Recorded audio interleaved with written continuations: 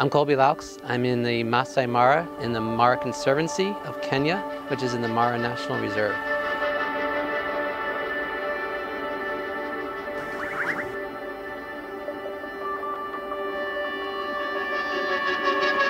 So last night we had our first maiden voyage of our mobile FLIR thermal camera that we took out to look for poachers um, and it was success. We didn't catch any poachers but we were able to test the thermal cameras and we, they can see for several kilometers and identify poachers across this massive landscape. It was um, very pleasing and successful trial of our, of our new innovative technology funded by google.org. The, the machine was called thermal imaging camera and uh, we were taken through the training.